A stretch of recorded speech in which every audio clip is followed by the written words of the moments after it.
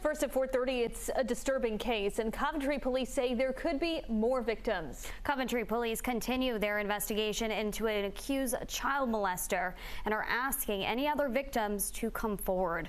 12 News reporter Vallery Maravi has more.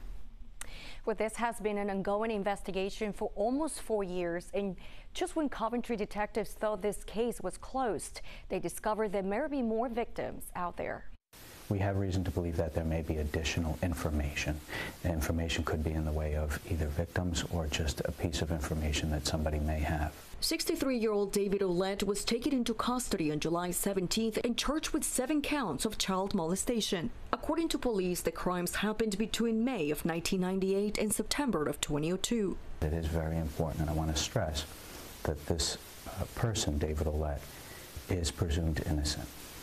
It's the state's burden to prove beyond a reasonable doubt that he's guilty of those charges. Since many of these crimes often go unreported, Detective Pacheco is asking the public to come forward with any information that may further the investigation. Some people may have the question of, well, I have some information, but it's anywhere from 20 to even 15 years old.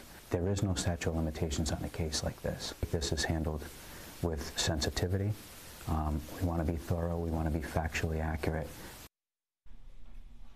Well, Ouellette is currently being held without bail pending his next court date scheduled for August 13th.